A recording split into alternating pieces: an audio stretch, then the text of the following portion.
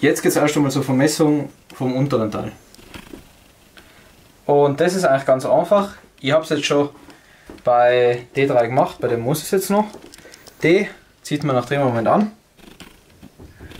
Und dann hat man natürlich so ein wunderschönes teures Gerät, was ich übrigens nicht besitze. Ich würde es gerne besitzen, aber ich habe es nicht. Und es ist eigentlich relativ einfach. Man steckt ihn rein. Zack. Schaut, okay. Das Ergebnis haben wir. Geht um mit so Specsheet. Beziehungsweise ich habe jetzt schon alle vier aufgeschrieben.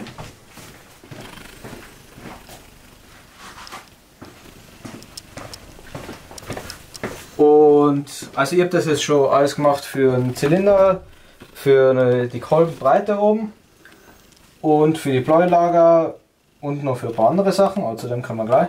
Und ganz einfach ist, man sucht sich das kleinste Maß aus und das größte Maß und gleicht das ab, ob das in der Toleranz ist. Und wenn ihr das selber macht, schaut, dass sie nach die richtigen Newtonmeter angezogen sein, ist ganz wichtig. Ansonsten kann man eigentlich nicht viel falsch machen. Vor allem, wenn man ein 3-Punkt Innenmessgerät hat, das ist das Feinste. Übrigens, nur zur Information, gell? wenn ihr auch solche privat zulegen wollt, vergesst es.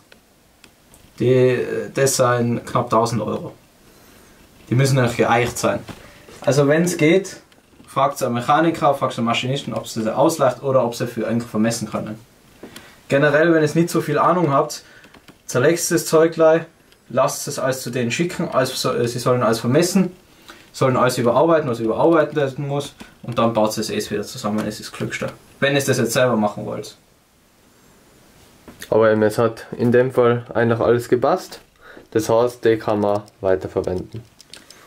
Kann man, wir wissen es jetzt noch nicht, weil äh, das P28 Kolben sind und die P29 Hoch, Hochkompressionskolben sind. Wenn wir die nämlich austauschen, weil die Pleuel kann man genau gleich verwenden, dann hätten wir eine Leistungssteigerung von knapp 50 PS. Was natürlich geil wäre.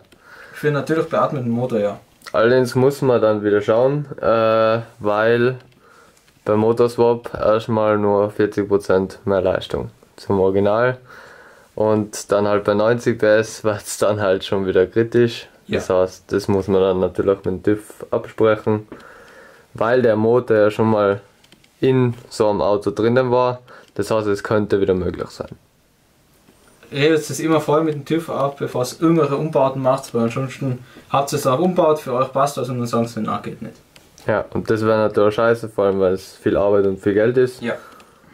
Und eben, wir werden da jetzt auch noch schauen und ja. Aber jetzt sagen wir auch noch, wenn man die Hauptlagergasse misst, beziehungsweise das ganz Wichtige ist, das vorher zu messen. Ich habe das schon vermessen. Ich zeige es euch nicht. Das nimmt man mit einer ganz normalen Bügelmessschraube, setzt sie an, misst die Ergebnisse. Bei einer Bügelmessschraube muss man mehr messen, weil man nur zwei Punkte hat. Ist eh klar. Äh, und dann schauen, welche Ergebnisse man bekommt. Und man entwickelt ein Feingefühl für das. Also das ist etwas, das geht nicht von Arm auf die andere Messung, sondern da muss man mehrmals nachmessen und ausprobieren. Wie sitzt sie richtig, gerade halten, gerade auf der Welle oben sein und dann kriegt man die richtigen Ergebnisse. Und jetzt machen wir noch die Hauptlagergasse und das zeige ich eigentlich jetzt. So, und jetzt sind wir bei dem Punkt Hauptlagergasse anziehen. Ich mache jetzt gerade die erste Wiederholungen. Beim D16 äh, Z6 Motor seien es nämlich nicht einmal, also unter einmal anziehen, sondern unter zweimal. Äh, der Unterschied ist einfach äh, der, ich meine, das haben wir jetzt nicht, wir machen es aber trotzdem richtig. Wenn die Kurbelwelle rein liegt, dass die Kurbelwelle nicht verbiegt und nicht bricht. Deswegen zieht man es äh, von innen nach außen immer an. Und ich zeige es euch jetzt im zweiten Step, weil das ist der wichtigere Step, wie es richtig gemacht wird. Passt schon. So, und jetzt ganz wichtig, jetzt haben wir beim zweiten Mal anziehen.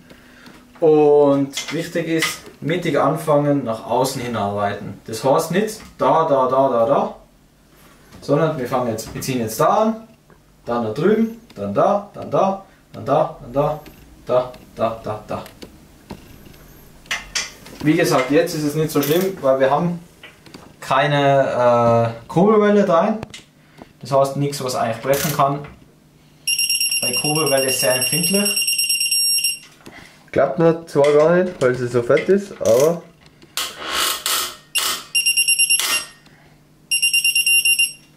Passt.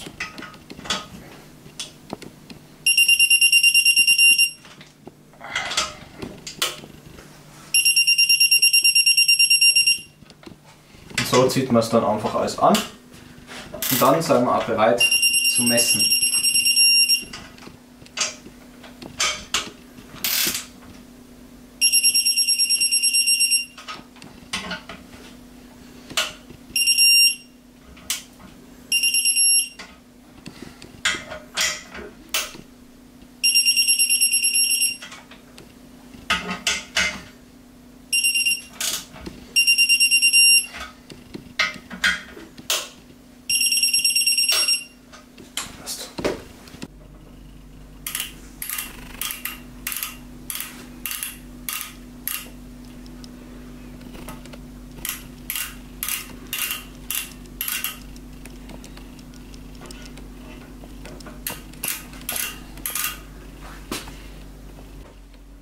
So Leute, wir sind jetzt an einem Punkt, wo es ums Ernste geht. Beziehungsweise eigentlich nicht. Nur, ich erkläre euch jetzt einmal generell das Messen mit einer Innenmesspunkt 3 Punkt Schraube. Genau. Es geht ganz einfach um das. das man kann tatsächlich nicht viel falsch machen. Man muss schauen, dass er erst einmal kalibriert ist. Kalibrieren haben wir da einen wunderschönen Ring.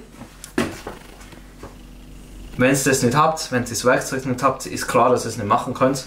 Ich sag's euch, wenn ihr es habt, nutzt es. Rein theoretisch, wenn man es jetzt ganz fachlich und ganz genau messen muss, dann muss man alles bei einer Raumtemperatur von 20 Grad oder anderen Temperaturen kommt auf die Messprüftemperatur an. Beim klimatisierten Raum, der was genau 20 Grad hat, alles 24 Stunden bis 48 Stunden liegen haben und dann darf man es erst messen. Messwerkzeug sowie Prüfring sowie Block. macht wahrscheinlich auch kaum Mensch in der Praxis. Das machen große Firmen, das machen Automobilbauer und das machen Flugzeugbauer, aber nicht mehr. Also, Die Frage ist halt, ob du zum Motorbauer gehst, ob der die Zeit hat. die meisten Aber- Motorbauer machen es auch nicht. Sagen wir ganz ehrlich, das machen nur Hersteller.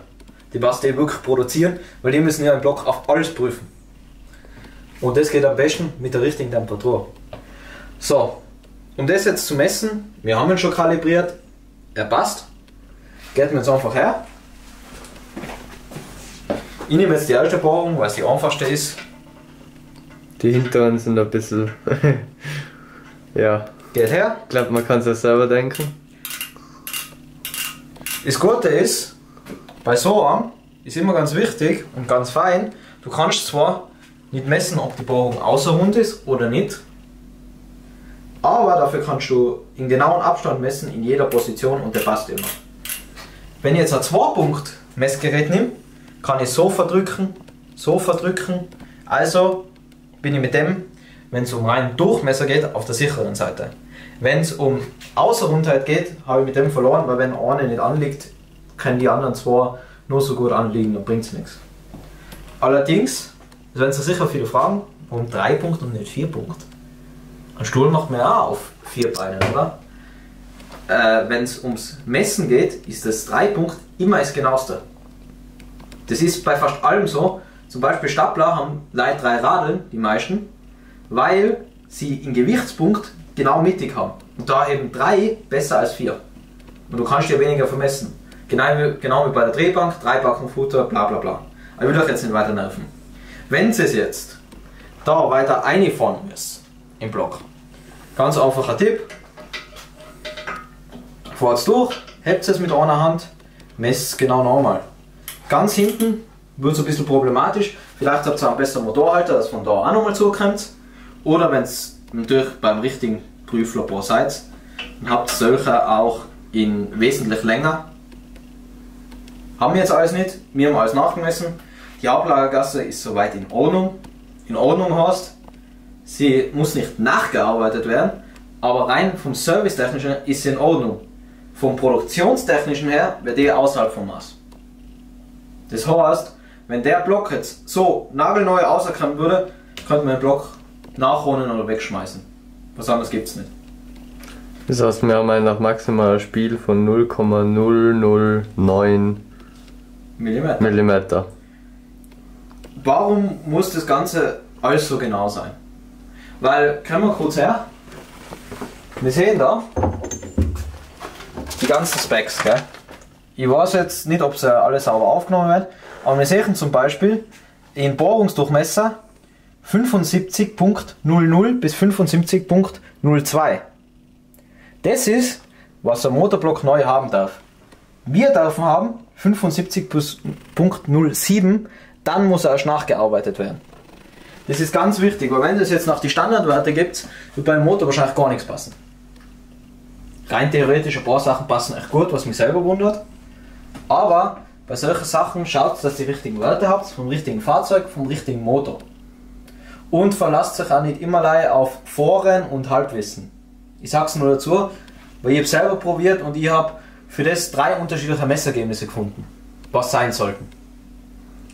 Ja, Und sonst musst du halt schauen, ob es im Internet eins zum Downloaden oder zum Kaufen gibt, so ein Servicebuch, beziehungsweise eigentlich ist das Service-Wartungsbuch, wenn man es genau nimmt, ist das Beste, was du haben kannst. Ich sag's eigentlich nur. Und ich empfehle es jedem. Aber jetzt haben wir genug vermessen. Jetzt würde ich sagen, wir vermessen jetzt noch die Kurbelwelle, sagen eigentlich dann, wie es jetzt weitergeht danach. Und dann sehen wir es eh. Vielen Dank fürs Zuschauen. Wenn es euch gefallen hat, dann lasst ein Like da. abonnieren und dann sehen wir uns im nächsten Video. Peace out. out.